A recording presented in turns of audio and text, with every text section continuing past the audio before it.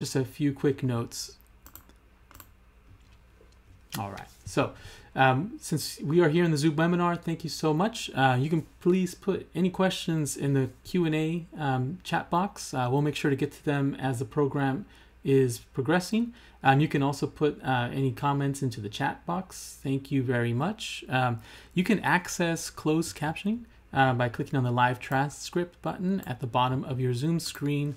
Um, one thing that's really super uh, important, I want to make sure you all know that you can join us again uh, next Saturday, um, February 12th at 2 p.m. for another program with Bigger Than Us Arts um, with, with Benwar and the crew as they take us on a journey through African American music and beyond. It's going to be incredible. For more information about our other Black History Month programs, book lists, and more, visit www.saclibrary.org slash celebrate black history. Um, and since most of us are here now, uh, we got a little bit of a surprise for attendees. Um, we're going to be, um, in honor of this program, um, the library is going to be giving away three sets of the March book series by the late John Lewis. Um, so if you'd like a chance to be in the drawing, please visit this link in I'm posting in the chat here. Uh, just one moment. So good luck. Um, it's going to be random drawing, and we will let you know a little bit later this week uh, who who who is the winner. So thank you, and um, appreciate all of you for being here. Um, so with that, I promised that I was going to keep my presence short because we have some incredible guests today. Um, you know, for this program, why did we march? We have the Shepard family, Leon, uh, Dr. Asha uh, Shepard, and Benwar Shepard from Bigger Than Arts, Bigger Than Us Arts here in Sacramento. Um, it's a pleasure to open up Black History Month at Sacramento Public Library with this program, and it's an honor. So thank you all. And with that, I'm pleased to welcome the Shepard family uh, who will be guiding us this afternoon. Thank you and enjoy.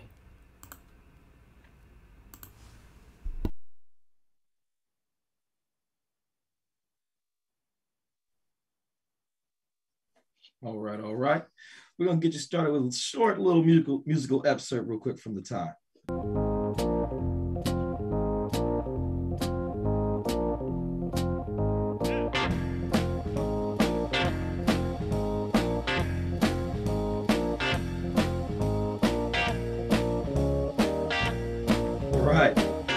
Man. Right, musical time felt so good, so good. Uh, it's Great to be here with you guys today. Again, my name is Benwar Shepard. I am the director of Bigger Than Us Arts. Um, a little bit about me I've been teaching music in public schools for about 20 years, been actively engaging community for the last 10, and been a music, musician most of my life and regularly are working to put music and arts and creativity in the streets.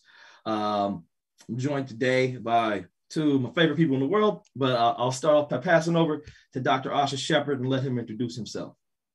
Hello, everybody. Uh, my name is Dr. Asha Shepard. I am an economics professor at Goucher College in Baltimore, Maryland. But uh, I was born and raised along with my brother in Sacramento. Um, so I still have my roots back home and uh, glad to be here today. All right. And of course, uh, that's off to. Of course, my father, I call him dad, of course, but you guys will know him as Leon Shepard.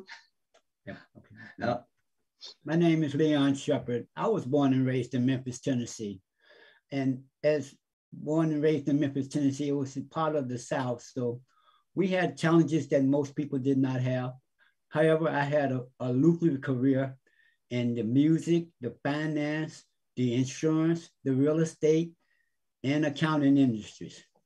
Right.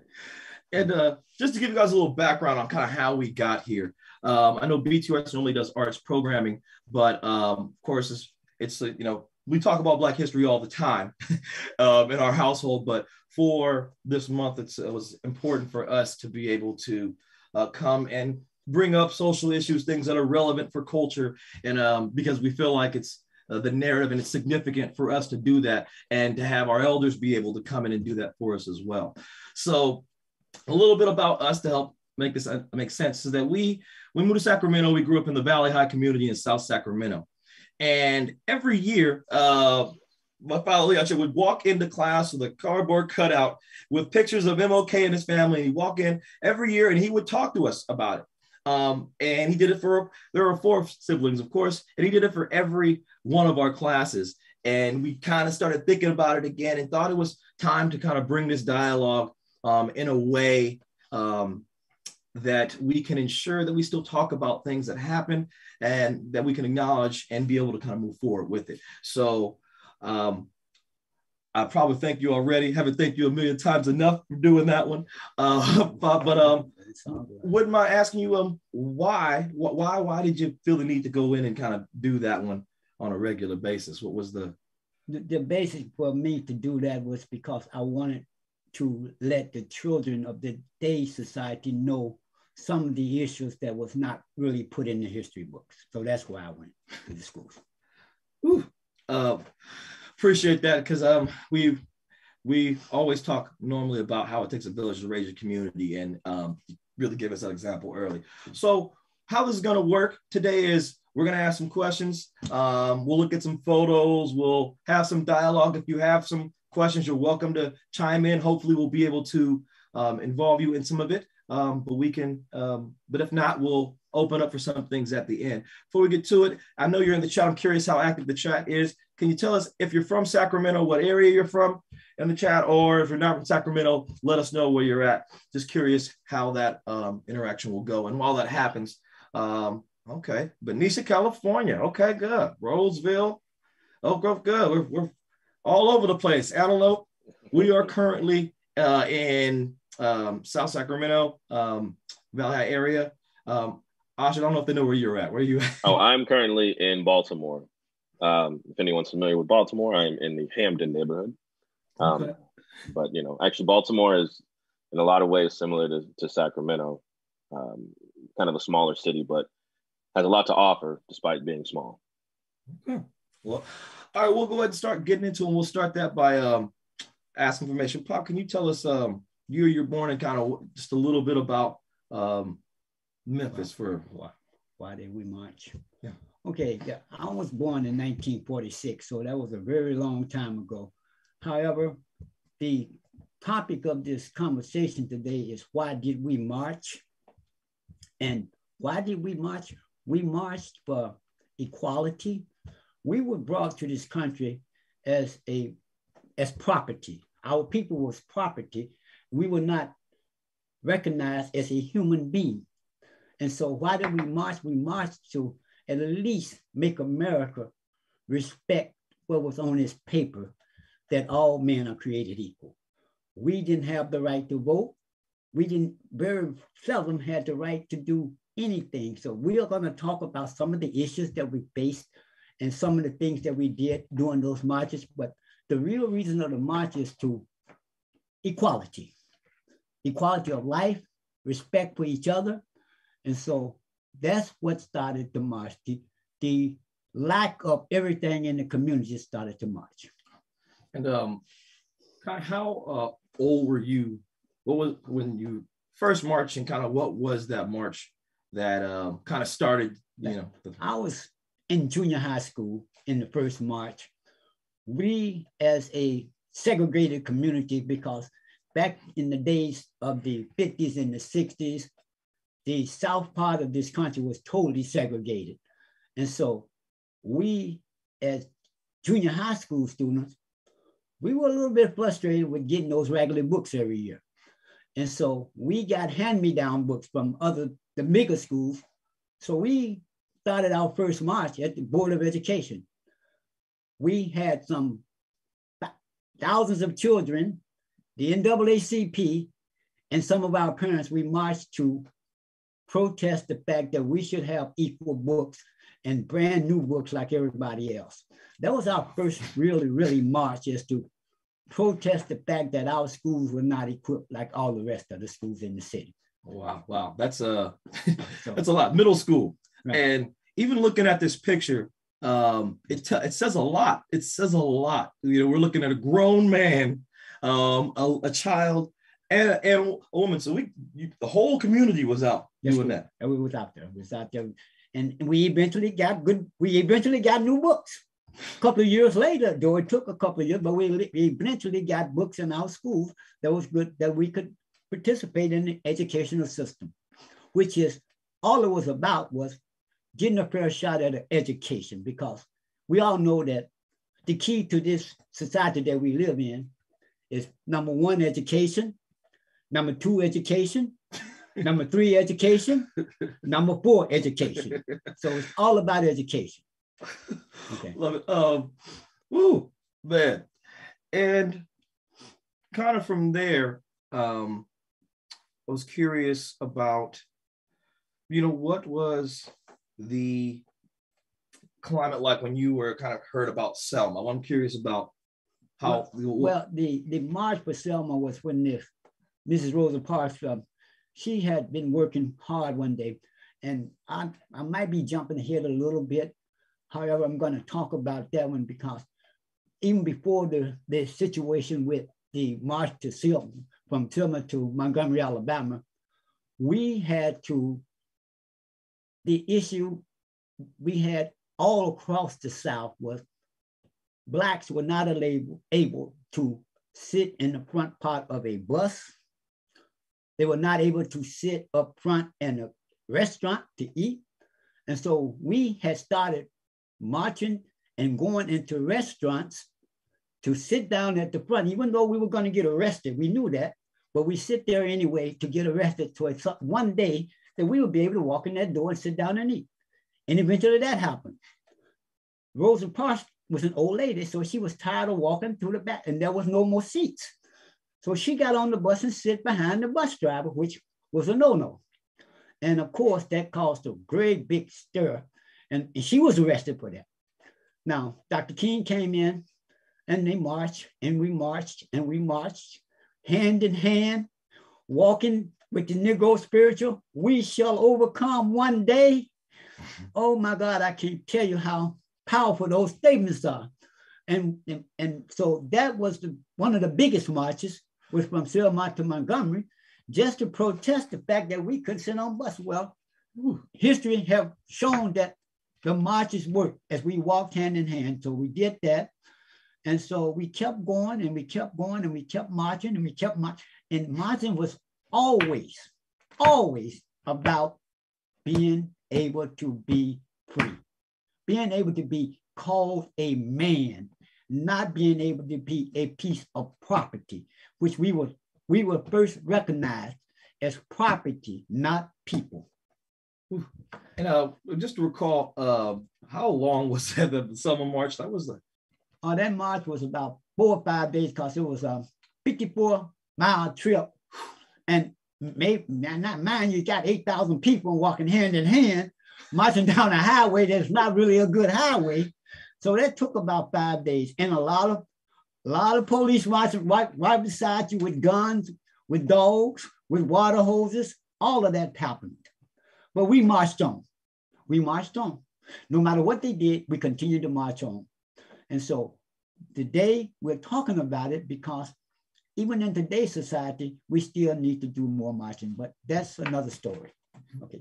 Um, let's see. Uh, from there, uh, if you guys in the chat, by the way, if you if you feel the need to, you know, throw some in there, feel free to do that. Um, we're we're here. We're paying attention as well. Um, this is a dialogue that we, we talk about these things in our family, and so we are kind of welcoming you here, and you know, we welcome you to be part of the dialogue as well.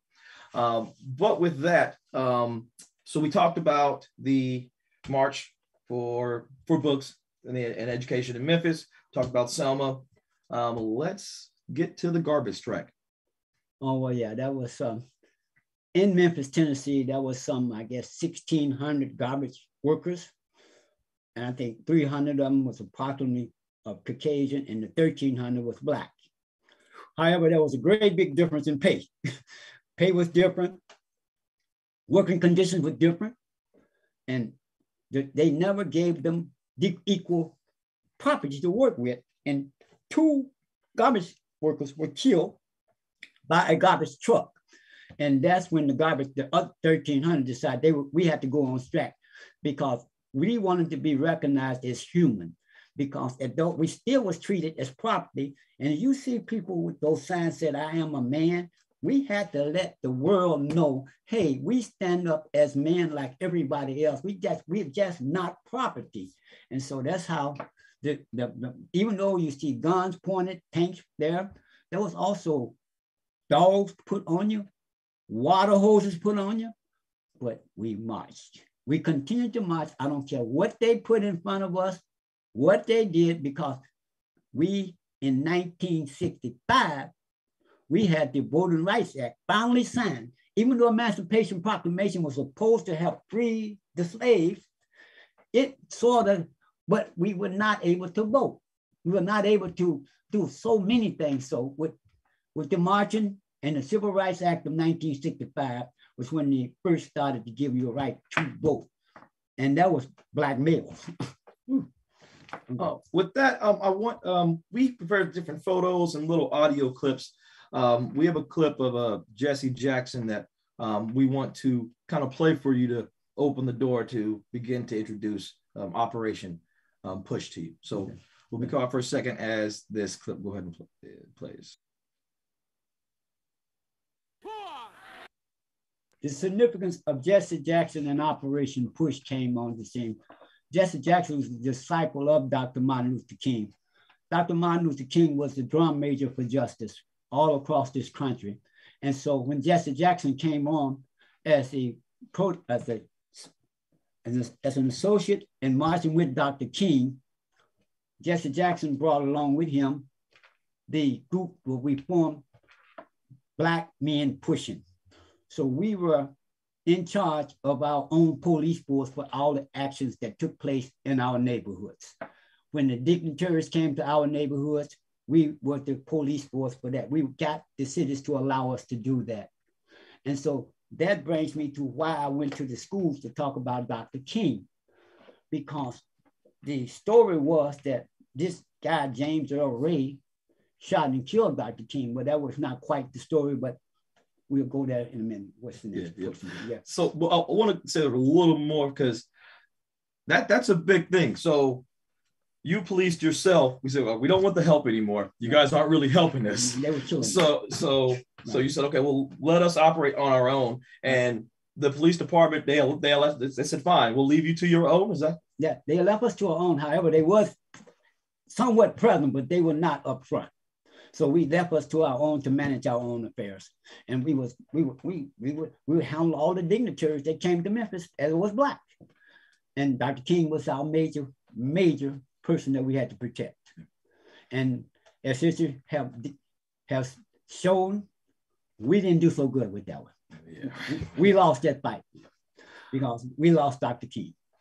Anyways. No, other uh, did the people were the people did they go to Operation Push? Did they is that who they talked to when they was was it that kind of thing where they can hey you see most of the uh, civil rights movements and all of those things back in those days was always headed by black ministers. So the black ministers got together and they went before the, the, the cities to, to petition for us to represent ourselves. So it was always about the, the power structure in our communities came from the black ministry, and they were ones set that up for us. So that's that was how we got to be able to police up ourselves. That was how we was able to represent the city when it came to represent blacks as a whole. Now, um, right, we got another clip, um, and this is uh, another one of a speech from Dr. King. Um, some of you may have seen it before, but throughout the platform, we think it's important for us to hear these words and to see them as they were spoken at the time. So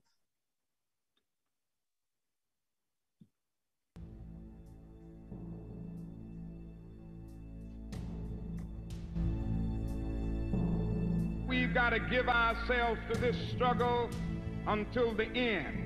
Nothing would be more tragic than to stop at this point in Memphis. I want to thank God once more for allowing me to be here with you. I left Atlanta this morning and then I got into Memphis.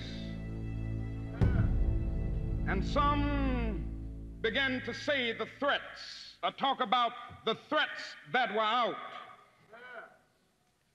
Uh, what would happen to me from some of our sick white brother? Well, I don't know what will happen now. We've got some difficult days ahead. But it really doesn't matter with me now because I've been to the mountaintop. I don't mind.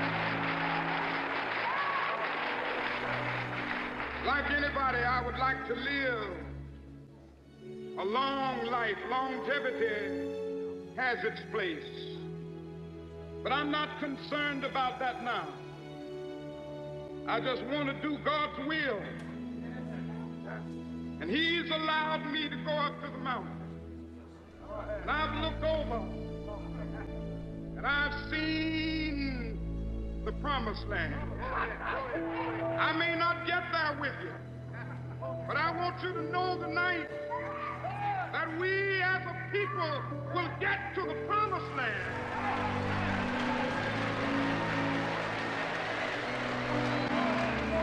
So I'm happy tonight. I'm not worried about anything. I'm not fearing any man. Mine eyes have seen the glory of the coming of the Lord.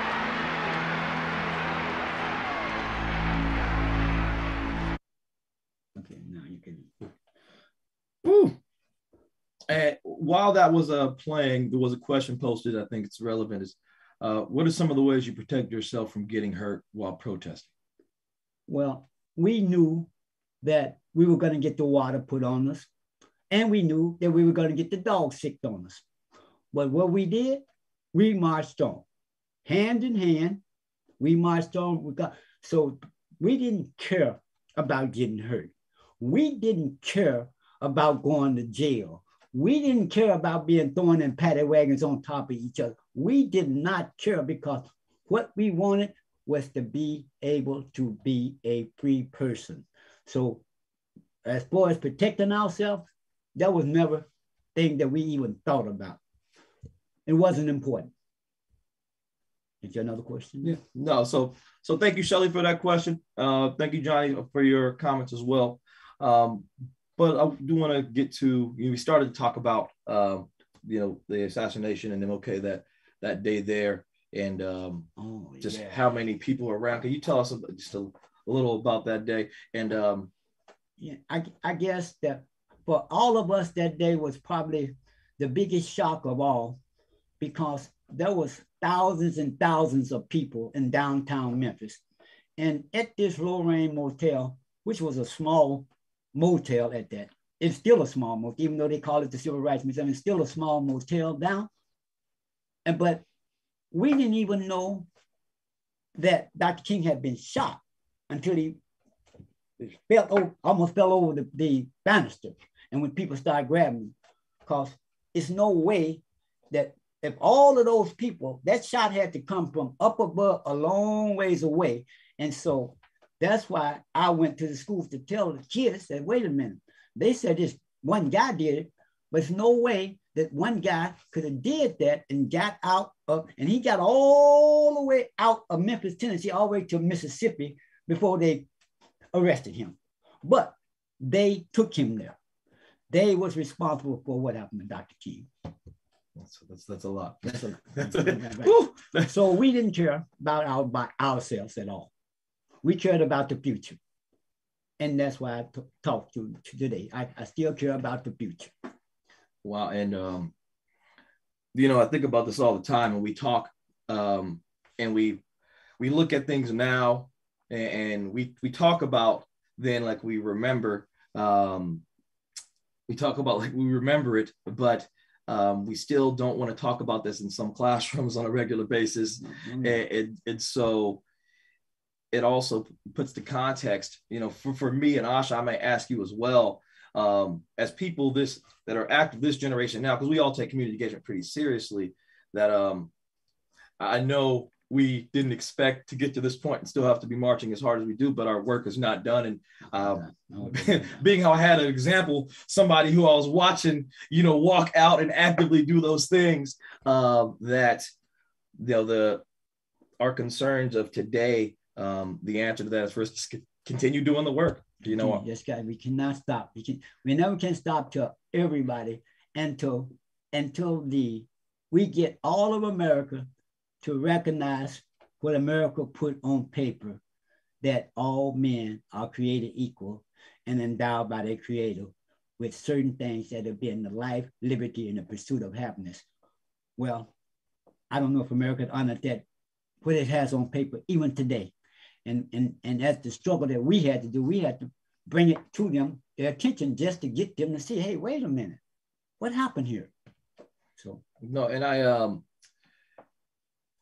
the reason that again why we're even having this conversation is because the narrative still needs to be present. That's correct. And that's right. Something that Ash and I may chime in for now is what it was like for us because that narrative was present. It was the youth have to see this message um, because it helps. It helped me um, help me find my my path. Now, all of these things um, watching you do and talk about let me just say, okay, community is what it is for me. I care about community. I'm going to find a way to do that. and now we do parades, like we we actively did that. But I only could do that because these messages were being said to me. And as we think about how to, you know, push our youth the same way, this is a portion that they're missing that that doesn't help them buy into the culture. Um, I'll pass to, to Ash and see if you, you have something to chime in with that. Yeah. So so for me, you know, uh, you know, father said it that education was really the key to, you know, the future generations. Because, like they said, the first strike, the first march that he participated in was to get better books, because understanding that a proper education um, will set you up for future generations. Because I remember one of the lessons that our father taught us was that, you know, yeah, they can stick dogs on you. Yeah, they can stick the water hoses on you. They can put you in jail but they can never take away what you know. And you build on that across generations, what we know. And that was one of the reasons I became a, uh, a professor and then a teacher, uh, because that message of spreading knowledge and education to the younger generations, um, you know, that's that's kind of my way of of fighting the fight, of expanding our knowledge, expanding our history, and, and still talking about it and keeping it relevant. Uh, that is how the future generations will come to know what has happened and how we can learn from it and how we can be better. But again, the key is coming from education because that's something that can never be taken away from you, no matter what they may do to your body. What is in your mind belongs to you, and hopefully to the future generations as well. Yeah, and and, and uh, so we got another question from Shelly. What are some tactics? I'm so, sorry. What are some tactics that you used back then that we could use now well, you can always march. Why did we march? We march for equality. Why did we march? We march for, for freedom. Why did we march? We march for justice. And why do we march? We march so that we can all be treated the same way. So what can we use today? We can continue to march. We can continue to protest, but we have to continue to march and protest in a peaceful way because you cannot be violent and get anything accomplished. So the answer to it is to continue to look forward, continue to move forward, and continue to look straight ahead, regardless to the obstacles. Obstacles stop you, then you, you, you won't get very far in life because there's always going to be obstacles. And so if the obstacles is going to be the part to stop you, then you don't need to start a protest because there's going to be obstacles. So the safest thing I can say is, like I started with this whole process, the safest thing I can say to everybody today is, I don't know why that the history books does not take note all of the contributions that was made in society by Black as a whole, but we can educate ourselves. We can educate our children and our children children can be educated because education is the key. It's the tool that can be used today. Wow. Okay. Yeah, that, yeah. I want to recap that a little bit too, okay. because that, that's a lot. You know, to right. uh, of, of, what do we do? We educate, and we're present in our communities. It's like the, those those things were what it was then now, and and even it's sorry, what it was then, and especially what it is now. Um, so I get we all we all have to continue to educate and we all have to continue to push. Um, and that's am I getting that correct? That's what you pretty much were saying. Yeah, that's what I'm saying. Even though they send the education system, it it is what it is. The education system is what it is. So what even though it might be certain kinks in it, but we still have to go with the best that we can and keep going forward. Go and talk to your elders. That would be my suggestion to everybody. Go and speak to your elders and they would give you some insight as to what's not in the books. Yeah, and I'll also add that you know education is a full community thing. The educational system is is can only be one part of it. Like for now, for those of us that engage in community, we we know that the the entity of public education cannot bear the grunt of it, no matter what they say, no matter how much we. So there has to be something in school. There has to be something in the after school programming setting, and if there's a religious thing or something that has to be there, but we just we have to figure out how to add to the education system because it was a village that raised a child before. And so we still have to get back to that one. Um, yes, but how should the church be the educator? But everybody doesn't go to church. It's not. It's not. It's not supposed to be. I mean, no, no. That's why my suggestion is that whatever you can pick up in the school system, yes, but I still say go to your elders, go to the elders of the community and talk to them. They would talk to you. They would tell you what happened. They would tell you what they had to deal with. Just like I'm saying today, what the obstacles that we faced, we did not care about what happened to us. So the still thing and how you do it today, you cannot care about the what's going to happen to you. You just have to present yourself as a vessel for change. And, and that comes from the heart. Hmm. Okay. Wow. so yeah. it's a vessel for change. Yeah. Uh, a lot, a lot like that. I like that a lot. Um, and you know, we had a t- we, we drove to LA um, a little while ago, and we had a talk um, that came back to character counts. oh my God. You know, um, oh, ca- character counts. We we we we do we it was mentioned in the content of character. We, we, hear it in the I Have a Dream speech, a character counts. And we began having this dialogue um, that we do not have a political problem. Um, we have a people problem. And because the thing is that, you know, where we are forgetting that things are people and the lines that people there are drawing between us do not exist. So people are promoting that, hey, we're, we're different, we're different. No, we're more the same. When we view each other more as the same, then we can find some common ground and find a way to push forward. But the the narrative has been shifted from us and it gets us away from just thinking about, hey, are we just being good people to each other? Right. That's correct. That's all about it's all about how we how you treat each other, how you treat your fellow man, because that's how you want to be treated. So that's that was the whole Bible. It's all about people caring about people and not caring about what, what your nationality, what you look like, how big you are, how small you are. It's about the character of the person. And it's about the character in you that you will stand for something other than disparity.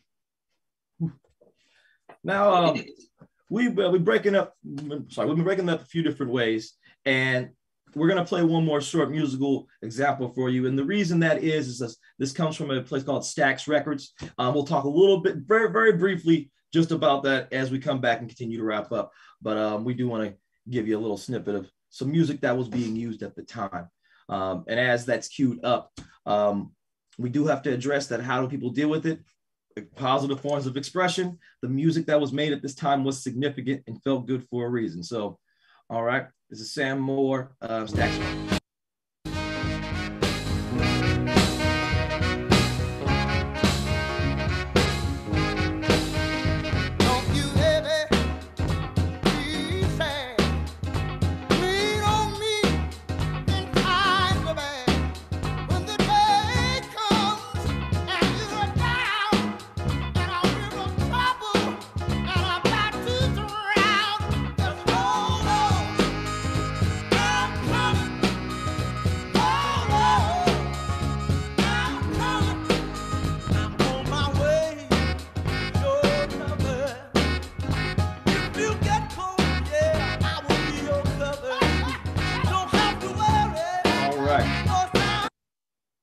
uh, Stax. give you too long. We don't have that much time. Yeah. being being Black History Month, uh, why we we chose Stax Records because Stax was a black-owned record company that did quite a bit in the communities in those days.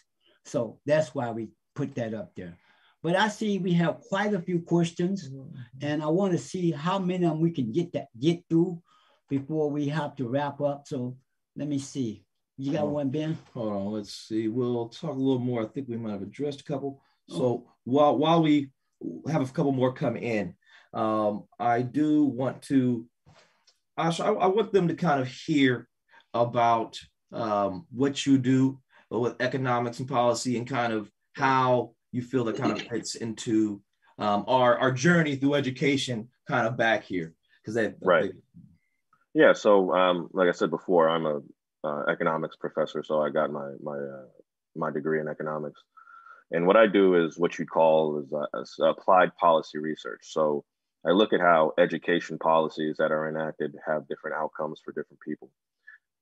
And the reason I got into it is kind of, you know, what my father was talking about is how is can we contribute to change?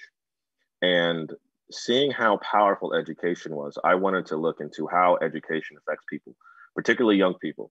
Um, and so my research is about the effect of education policies on uh, criminal behavior. So, because one of the things I observed was that, and you know, this has been documented. Yes, not everything's equal. Yes, the education system is not perfect, but the more education, the more high, the better quality education that people get, the less likely they are to uh, to commit certain crimes. Um, and again, it's thinking about what can we do to help benefit society, and just to show, you know, my research. The whole point is to show that hey, if we at least can progress through the school system, or at least in a way educate yourself in a more tangible manner. Yes, the school system is not only way to educate yourself, but it is one of the easiest things to measure.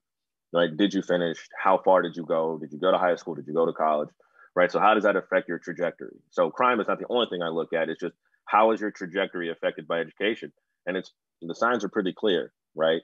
Like my dad said, education is the key, right? Uh, getting a proper education, whether it's just school or not, can set you on a trajectory to to better yourself. It just gives you more opportunities, right? And that's what what this is about. That's why we that's why we marched, right? Is to give ourselves opportunities that we were denied previously. And one of those things was just the right to go to school, a good school, or just the right to have new books. That's why they marched. Uh, one of the first marches my father participated in was just to get good books, right? Because we know the power of education allows you to access things that we were previously denied. And so by accessing those things, now we have a chance to not only better our lives, but also the future generations. And that's why our, father read always instill in us, you know, education, education, education, because, you know, we're his kids and then they're to have grandkids, we'll have kids, all these things. So the future generations, they can stand on our shoulders. And one of the ways they can stand on our shoulders is us providing to them kind of a blueprint of how to navigate. And you nav- you learn to navigate by educating yourself.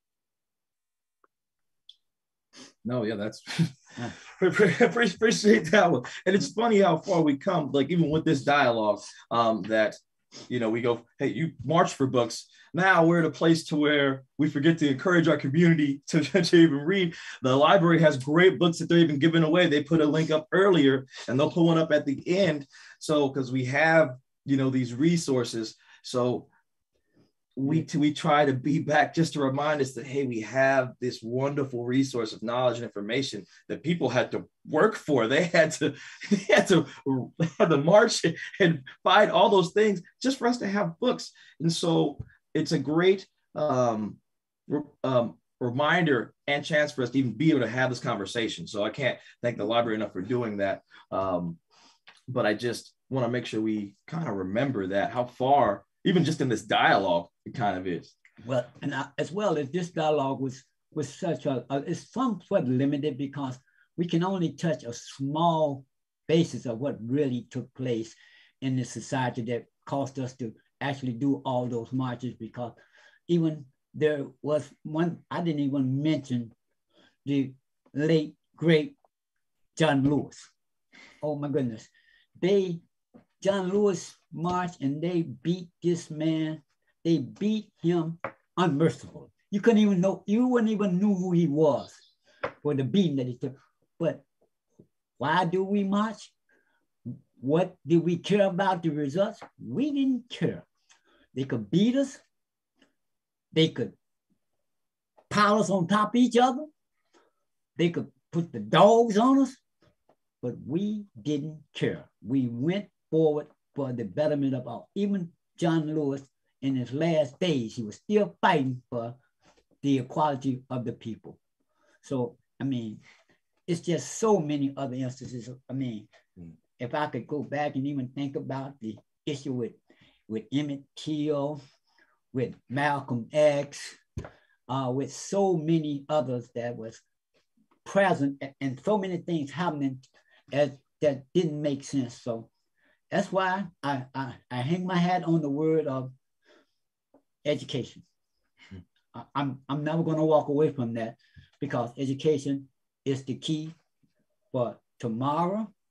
Education is the key for yesterday, and education is the key for today. Brad, I do see a couple questions okay. um, here. Uh, Malcolm X um, had a different method than Dr. King. Yes, he did. What are your thoughts on him, and did you follow one or the other more? I followed Dr. King to the T. Um, Malcolm X was, even though I liked Malcolm X, but Malcolm X was was preaching a different theory. He was preaching, if you got your weapon, I'm gonna bring my weapon. But we know that you can't outgun people that have tanks. So it has to be about peace. It has to be non-violent. And so the difference between Dr. King and, and Malcolm X, Malcolm X was not about non-violent. Malcolm X was about fighting. Dr. King was about non-violent. And that's and if you're to have any success in anything in this world, let me tell you, nonviolence is the only key. Nonviolence is the key. You can, I mean, you you you you can think that maybe you got a big gun, but they got tanks. You can think maybe they you can get a tank, well, they got anti-tank missiles. So it's not about a war. It's about peace and, and education. So that's why I followed Dr. King. And never would have been, a, even though I liked some of the things the Muslims spoke about, because they was about betterment of, of blacks as well, but I was not about violence. Hmm. Okay. Thank you for your question. Um, next question. Um, now we have an issue about censorship of books and ideas. Do you think this is something to rally around? Um, need organization around a specific issue? Hmm. So, oh, do we think uh, that we should rally? Go ahead. I was going to say uh, the answer to that. Well, my opinion, excuse me, yeah. is uh, don't let them.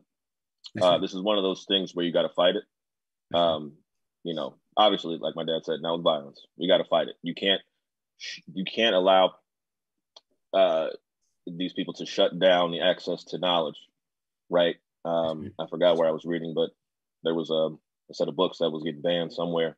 The thing is, we can't stop yelling about that. We can't stop screaming about that. Like, do not take away our access to history, our access to information. Whenever these censorships of books and ideas are, they're going to be censored. that's something that is just we Always cannot allow to happen. Um, because again, if, if we shut ourselves off from what has been done and shut ourselves off from access to education, then we are allowing history to repeat itself. Um, and that's definitely something we cannot do. So that is that is a matter of making sure we yell and scream and kick the down, kick the door down, so to speak. Not literally, we kick the door down on things like that to not allow the censorship of knowledge. Right. That well, that and, is, and, that is that is very very dangerous to allow the censorship of and uh, to the access of education and knowledge. We must vote like uh, vehemently protest and and uh, you know fight for that, right? So that that's something that we just cannot have, and I cannot stress that one enough. Yeah, and, and we have the power because because we can mm-hmm. tell these stories ourselves. Like you know, the obligation gets back to the like people, community, like and if, your elders, yeah. and your elders. Go to your elders. Talk to your elders. Mm-hmm. Always talk to your elders. And yet, yes, books are censored, but what do we have as an alternative?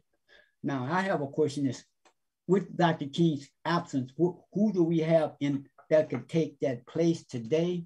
Ooh, that was a good question. that's that's a really, really, that's a really loaded question. I'm going to challenge the person that put that question out there to take a look at that man in the mirror hmm. and start there. Or woman. yeah, man, it's, it's, it's, it's, it's, literally yeah. not but if who we can we who can we go to today to direct us? Look in the mirror. Start there. And once you start, there will people will join you. Okay. Yeah. Oh no, no, no need to apologize for loaded questions. That's no, why no, we're here. No, no, no, no. So no. questions are good. So questions are good. Yeah, that's that's that's that's why why we are here to mm-hmm. to, to start to talk about these things. Um, we um, haven't we still haven't found ways to accurately have conversations or even set this up. So even just us having this dialogue yeah. is substantial. And the reason that we're here with our family now is just because that's what we know. We know that you're you have stories. We know that you have tales. We know that we are not alone in this. We're just we're just here now, and we always want to encourage um, anyone to speak up. We are allies on these calls with the SAC Library, with Ricardo, and all these things to, to continue to find ways to vocalize our concerns, our history, and, and the knowledge that we know that is required to for this world to be a better place. Going back to that question on what do we do when they censor us, we just we have to keep saying the truth out loud because the over, youth have no chance. Over and over, and it has to be peaceful. That's correct. So over and over, peaceful march. Okay. All right. So um, with that, I think we, I do want to. I know we keep asking questions, but I know there's so many random things. I do want to say, is there any any other random tip, anything else you wanted to uh, uh, um, kind of hit on? If not, that's all.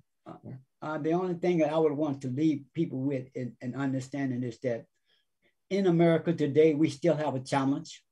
We still have a, a serious challenge going on with even voting across the country. If people have paying attention to the news in the last year or so, we got states ratifying things in their states that was determined, they determine who wins the election, not the voters.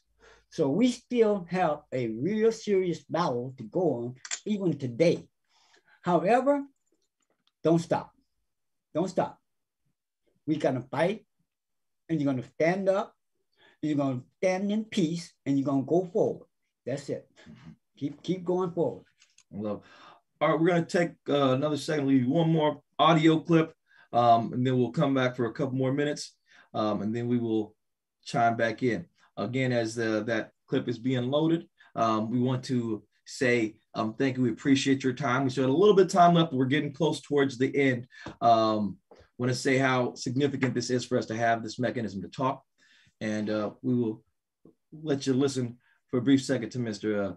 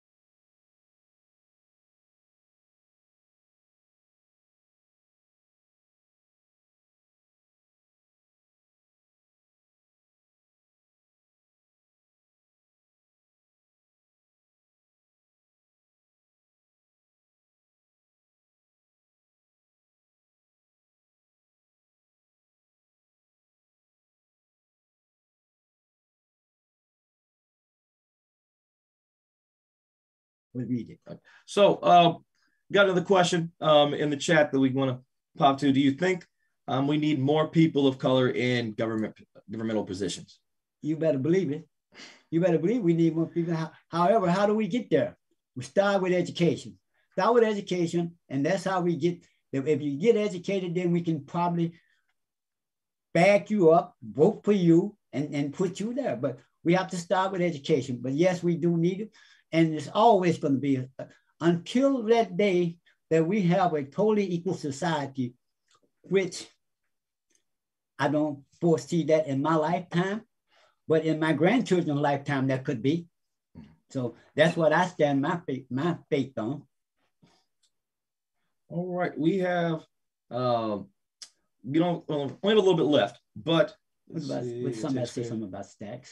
Uh, yeah. So Stax, Stax Ray. The question is, would be great to hear about uh, your time at Stax, or just a little bit about it when you were there. My time at Stax, though, it was probably the best time of my life was working for Stax Records.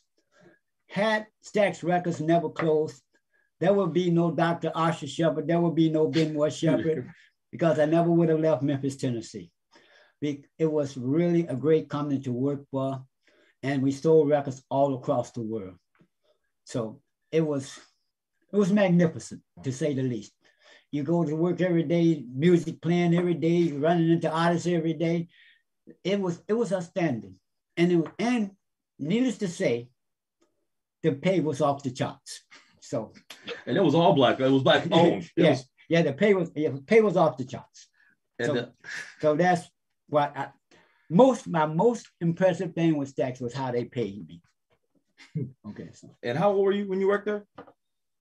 Whew, I would say my late 20s, man.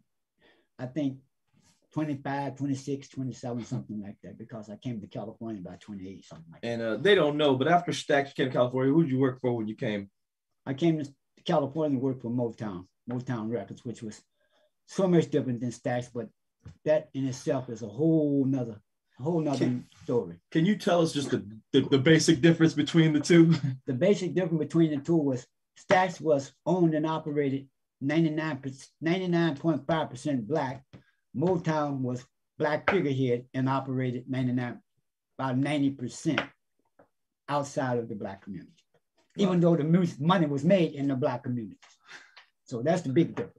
And I don't want to break down that anymore. Right yeah, no, that's a, right, that's, right, a right. yeah, that's that's another talk with. That's a great big talk. Yeah, yeah. So we, we have to get to some of the specifics okay. uh, of, of some of that. So, what, um, what did that one say? Uh, it's just a comment saying um, I could see how um, uh, it was for Sacramento youth and how Benwar is doing amazing. Oh, thank you, thank you. I, that was a compliment for me. Okay. well, compliment for you okay. for raising me. is what that was. So, okay.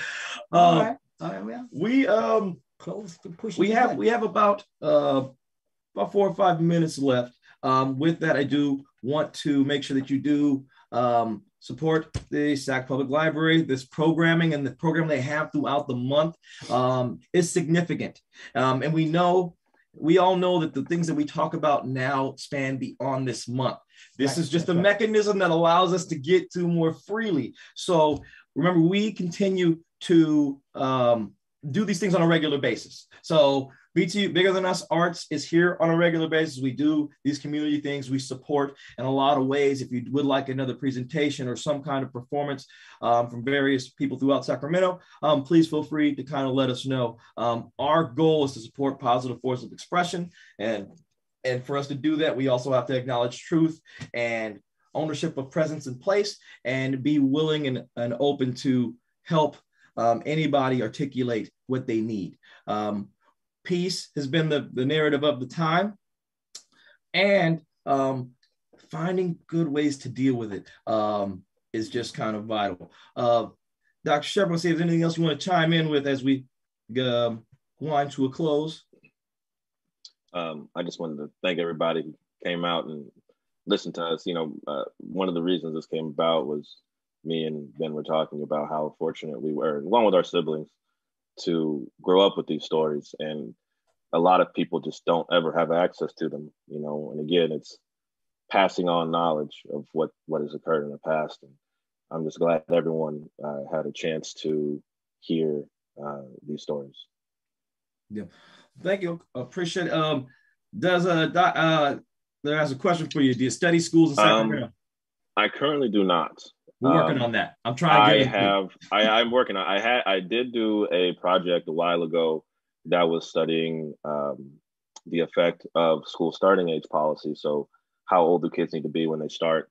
Uh, how that affects a lot of different outcomes. I did study. That was all of California.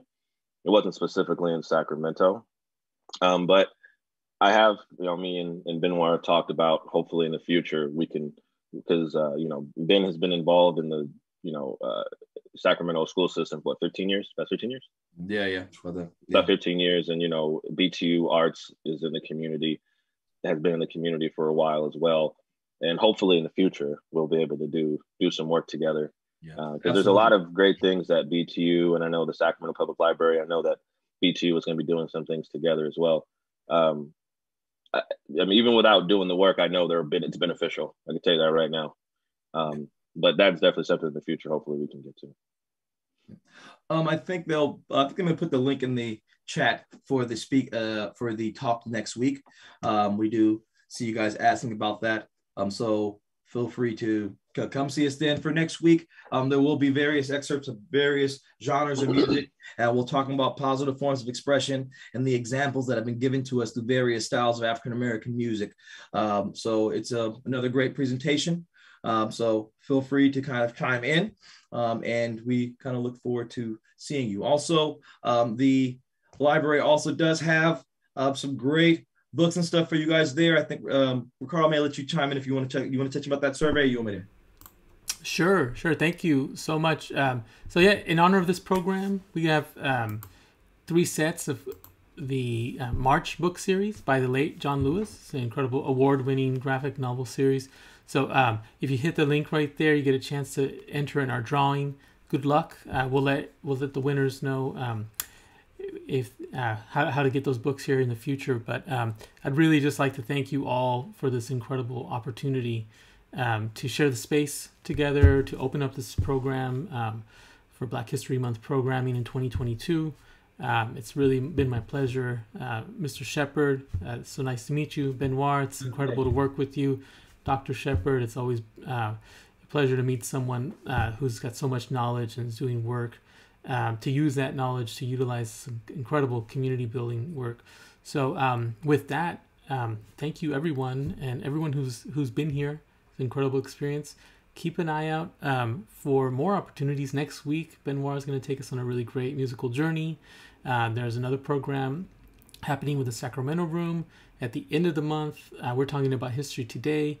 Uh, at the end of the month, we're going to talk about Black futures. Uh, we have uh, the incredible Miss Unicorn, also known as Spacewalker, uh, Sacramento's eclectic uh, and incredibly talented musician um, is going to take us on another journey into the future of what music and what culture is all about. So, with that, um, I'm going to say goodbye and thank you everyone for being here. Appreciate your time. Thank you. Thank you, everyone. Thank you. Thank you.